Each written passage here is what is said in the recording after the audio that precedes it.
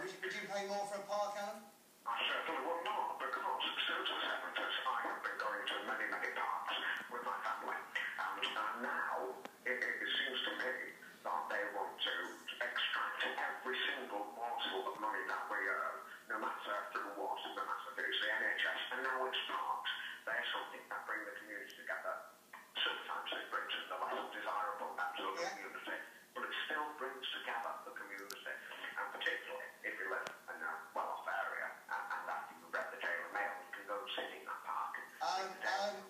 got to jump in. We've got to take a break. Thank you very much for the call. Case made. There we go. Phew. Last phone of the day.